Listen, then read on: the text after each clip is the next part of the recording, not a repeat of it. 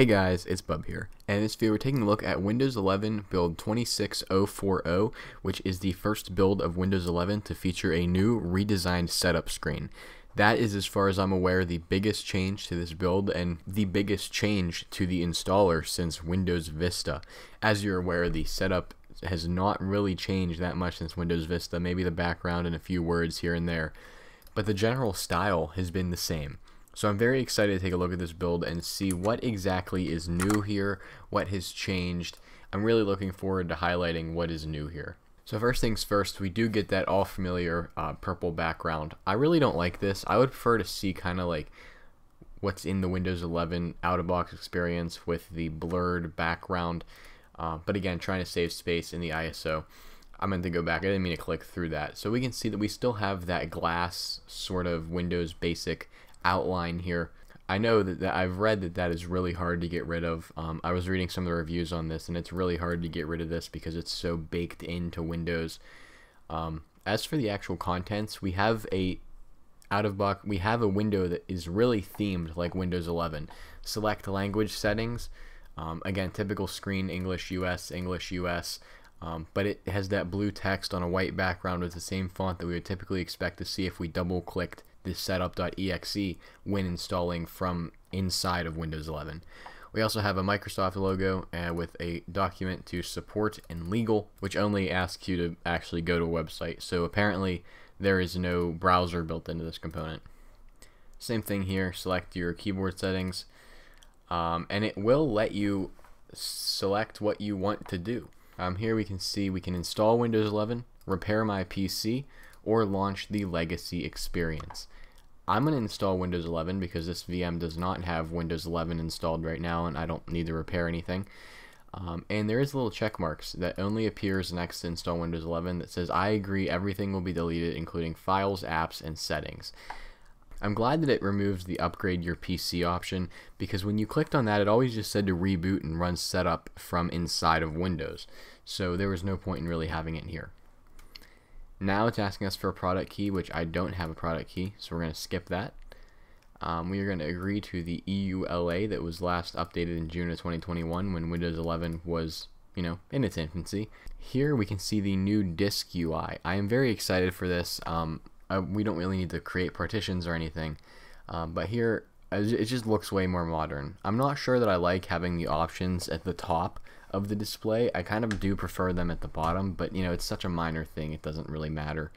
Um, what we can do here, I mean, just for fun, let's create a partition. Um, we're going to delete this before we install Windows 11, but just for fun, it partitioned it out. What we can do is we can click on one of them and let's just say uh, format. Um, we can extend the partition or we can delete the partition. So when we delete the partition, it should just go back to unallocated space. Yep, so that is pretty cool stuff. And, ooh, that's really cool. I do like that. You see how I was able to click on them and click delete at the same time? Like I was able to delete more than one at the same time. Previously, you would click on it, delete, wait, and then it would come back. So that's pretty cool. So we're going to select disk 0 and allocated space to install Windows 11 2. And it does remind you, hey, you want to install Windows 11 and keep nothing. Uh, check device specifications, um, I assume we meet them because I do. I did make this VM have TPM and the re the required CPU. So let's go ahead and click install. I don't like this. This does not. I don't like this part. Previously, it would tell you, hey, we're expanding files. Hey, we're copying files. Hey, we're doing this. Hey, we're doing that.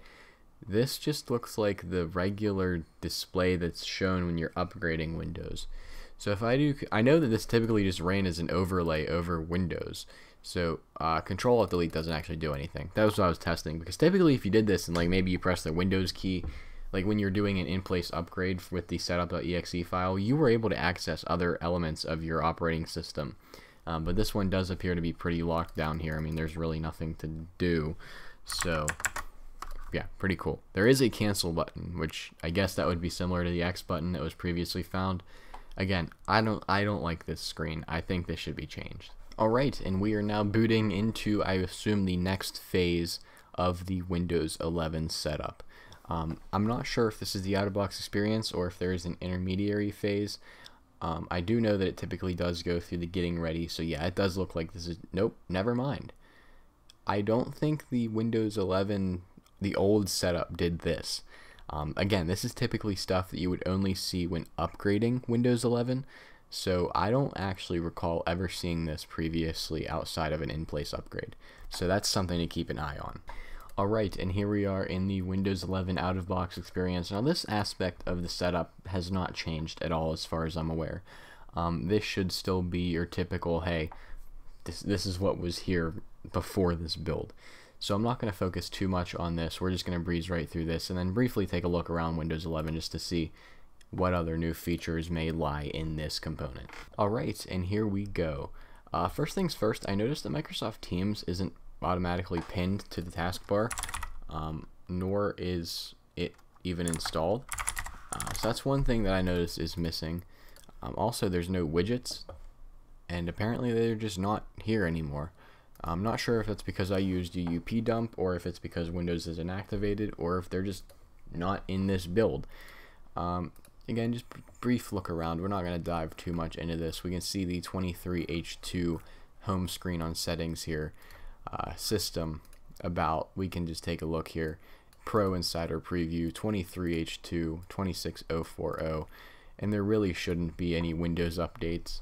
Um, but just for fun, let's check and see what there could possibly be. But with that being said, we've really taken a look at what I really wanted to look at in this video, which is that new setup screen. I'm excited because they're finally giving some attention to something that's roughly 17 years old at this point, the old setup process. So that's very good that they're finally giving that some well needed attention. So with that being said, thank you for watching this video. If you liked it, make sure to subscribe if you're new around here as I do all kinds of different technology videos, including device restorations. With that being said, I'll see you all in the next one.